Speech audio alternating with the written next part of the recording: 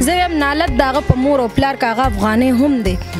چې هغه داسې کار وکړل ولې هغه خو هغه خپل کار وکړ شازیب به خو لکه دلته چې کوم افغانانو ته بیا سخت او تند راځي کنه هغه بیا د افغانان نور ګوري دغه زه خو هغه افغاني ته د سره افغانې نه ویم ځکه زه ویم هغه یو د انګريز یو پیداوارو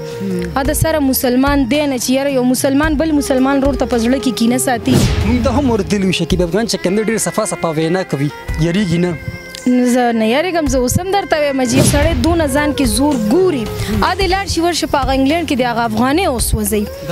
ځکه دې کې زما د وطن د بیرق هیڅ ګنا نه و چې دې زما د وطن د غو چې تکړه جنډه وغه اوس وځوله یو سیټ دو ګورو نو خلک ډرامي فلمون خو هي ګوري په شوق باندې خو لیکن بل لړخت چې کم دې پنکر ته بد نظر باندې ګوري په دې باندې سو سو نه ده اخو ټول عمر پښتنو دا کار کړی دی او کوي بس مونږ سره ولی که دا غي اوجري دي که دا غي ودونه دي نو آباد په سندرغاړو دي خو نور مونږ ته سپک ګورو یره دا ډمان دي په خلی کې درسه خدرزي په خولو کې ما ته هر یو پخلی خو صحیح راځي اسه خو افغانې نیم شازې بې او هغه څه زیات سوي پخلی کې په خپل کریلا ډېر خو خو کریلا جی کریلا کې ما مکمل خوخوي موسم خو عموما چې خلک وایي چې زما جمع خوښي ګرمي د چا هم نه خوښيږي جی ګرانو کتونکو اوس ما سره د ډرامې په سیټ باندې شکیب افغان ولاړه ده چې د هیڅ تعارف محتاج نه ده دوی سره خبر تر کوو ډرامې په حواله باندې السلام علیکم جی وعلیکم سلام جاذب به څنګه خې ډیره موده پس دی ډیره موده پس خو تخ کار شو مونږ راو غوښتلې دا راته د کوم ډرامې ریکارډ سٹارټ دی او نن سبا ډرامو څنګه ریکارډونه شته کنيشته ریکارډینګونه خو لږ کم شوي دي د ګرمۍ په وجه ولې ګرمي ډیره ده او د دې ډرامې نوم لکه چې کور زما انګار دی او که کور زما ظلم ما نه خپله هېر دی څو د اګست سره ډرامې را روانې که نیم دي را روان دي زما خو په چوده اګست باندې دا ډرامه ده او لکه سبا علي جمال سر ریکارډینګ دی نو پته نشته دا خو د 14 اگست د چوس نور کمی د 14 اگست دی زیات تر د ایډیټینګ د وجې نه پاتیم شي جی جی او تاسو خو چې کندې سندره هم وای نو آیا سندره هم تاسو برکټ کړ چې د اگست باندې ریلیز کوي او غانې چې د نو درې تیاری دي د خیره 14 اگست د پاره نو هغه برازي تاسو تر نو وخت پورې کندې څومره ډرامو کې کار وکړو سید مشي کنه یاد نشم یاد سندره مو څومره ویلي دي ام نشته یاد خجی ها سټارټینګ چې کندې ډرامو نه غستو کنه د سنگینګ نه ریډیو نه ریډیو نه حاجی ریډیو کې کار اسان اسان کار دی کنه ډرامې سټ باندې کنه غاني ویل اسان کار دی اسی خو چې کوم ریډیو د ټولو نه مشکل کار دی خدا دا چې لکه غانا چې کوم دا ما غانا ډیره خوخه ده بل زموږ چې فنکاران کوم دي شازه به عزت هم کنه چې ډیر به zarar خلک دي ما دی غانو دغه سره کار وکړلو ډرامو دغه اداکارانو سره هم کار وکړو کوم چې فنکاران دي خو زمونږ کم چې غانې والا دي سنگران دي زه وایم هغه ډیر بل شانته خلک دي مونږ یو سیټ دو ګورو نو خلک ډرامي فلمونه خو هي ګوري په شوق باندې خو لیکن بل اړخ ته چې کم دي پنکر ته بد نظر باندې ګوري په دې باندې ساو سوي نه ده اخو ټول عمر پښتنو دا کار کړی دی او کوي بس مونږ زرا ولی کدا غي اوجری دي کدا غي ودونه دي نو آباد پسندرغاړو دي خو نور مونږ تسپک ګورو یره دا ډمان دي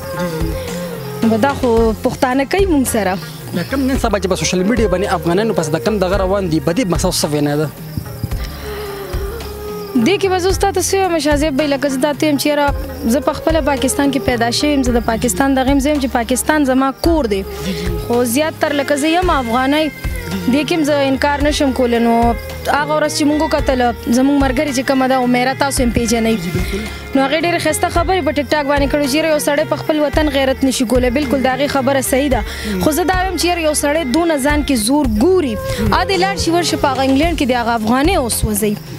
ځکه دې کې زما د وطن د بیرق هیڅ ګنا نه و چې دې زما د وطن د غو چې تکړه جنډه وغه اوس وزوله ما بیا دوباره زموږ یو مرګر او د مردان هغه ما ترولې ګل مور تل ځم مل زای درمان ته پېزان خخ کار شو تاسو ته پېزان خخ کار شو زما د وطن باندې کلمه ده چې تاسو ته په ځان خخ کاری او تاسو دغه کړل خو دا تش نفرتونه خورول دي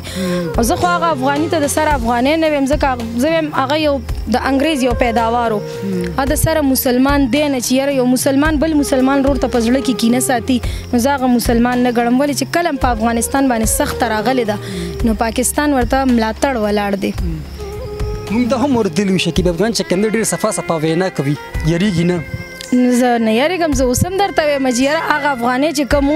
زما د وطن دی خو زه وایم چې یاره هغه لکه زه هغه ته افغانې نه ویم هغه ناس په یورپ کې دی هغه خوري د یورپ هغه د یورپ سره دی هغه ته د اغیزي هغه نشنلټي کسه هغه ورته ملو شو هغه صرف د هغې د پاره هغه هر څه وکړل زه وایم نالت د هغه په مور او پلار که هغه افغانې هم دی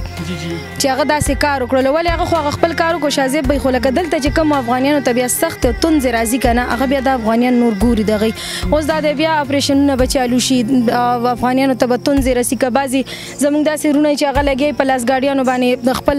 ځان ته هغه سودا خرڅوي ماښام یو څه روړه وړي نو د دغه کنجر د لاسه چې زه ورته کم اصل ویلی شم د د لاسه بس موږ ټول افغانانو ته بیا سخت شي نن سبا څه کسان روسي خلکو باندې تنقیدونه کوي اکثر تاسو ویډیوګانو باندې تنقیدونه کوي راکي راوتي دي ای باندې څه پیغام ورکول غواړي دا په نشنه دغه باندې اډې جوړ کړی دي بس دا خو چې په بل باندې کی بس کوي باغ دا غي خپل کار دی نور عوام مونږم پیجنی ایم پیجنی د هر سړی دی باره کې زوست نشم درته دا کولای اوس بس تاسو د خوخه نه خوخه اړه تر شو تاسو کم یو کلر زیات خوې ریډ کلر مو زیات خوخه وین چې سر ګونو ریډ کپ کپړې چم نه تور تور ها خجی ها خوخه لیکي درسه خدرزي په خولو کې ما ته هر یو پخلی خو صحیح راځي اسه خو افغانې نیم شازې بي او هغه څه زیات سوي پخلی کې په خپل کریلا ډیر خو خو کریلا جی کریلا کې ما سم کم خو خوي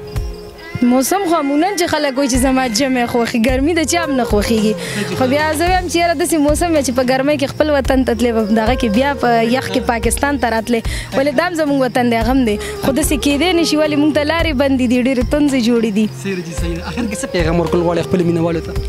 اخیری کې دغه پیغام ورکوم چې یاره لکه دا تاسو چې کوم دغه کوي چې یاره دا افغان دی او دا پاکستاني دی